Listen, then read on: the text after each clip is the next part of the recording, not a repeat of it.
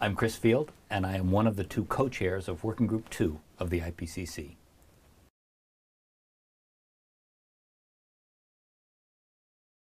I think the IPCC is a unique experiment. It's a very unusual deal between the world's governments and the scientific community. In essence, the world's government said, you scientists, if you will follow our rules, we will consider your assessments to be the definitive statement about what's known and what's not known about climate change.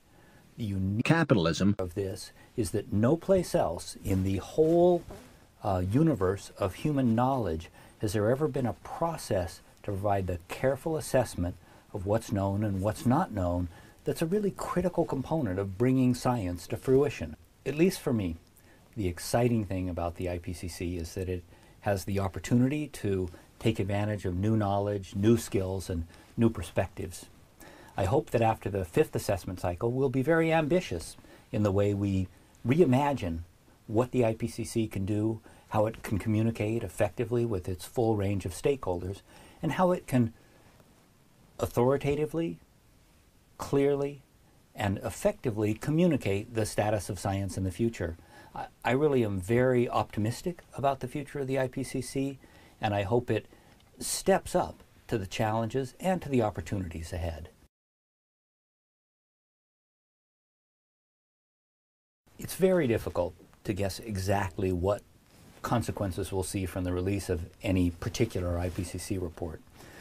I see the IPCC reports really falling into uh, into a single entity. I think of it as building a, a, foundation for a giant building, and each new report adds new building blocks uh, for the level of scientific knowledge, but also building blocks that create a foundation for smart policy.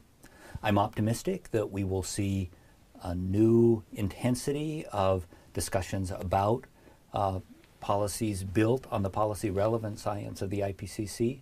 But I'll be very satisfied if we just continue the policy deliberations at a higher, more intense, and better informed scale.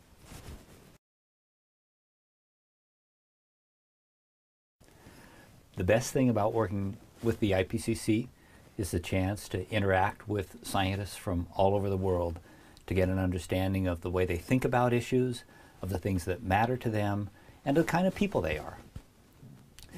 Working with the IPCC has been one of the greatest satisfactions of my scientific career, and I know it's been a wonderful source of satisfaction for all of my colleagues who've participated.